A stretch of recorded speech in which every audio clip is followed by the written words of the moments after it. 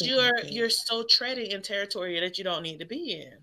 Yeah. And it's and again, are we existing, right? Because that's me existing. Like if you're gonna ask me some questions, let me ask you some inappropriate questions.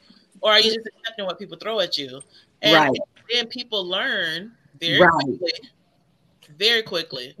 Don't ask for that. Some, yeah.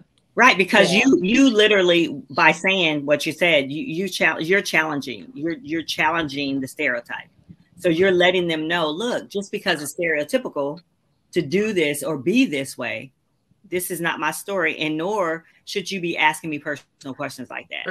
It And will- that's so will- personal. Yeah, and, and I I didn't look at it like that. I was like, oh, okay. I, I was I was If today years old when I learned that that's I was today meant. years old too. like the way you say it makes all the sense in the world. But because society says by this age, these are the expectations, Yep. right? So I, I, But agree. then you, have to say that too. Like those are your even if it's society, whoever, those are your expectations. And expectations are like goals. How can you give me a goal? right, I don't work for you. My body is not yours, right?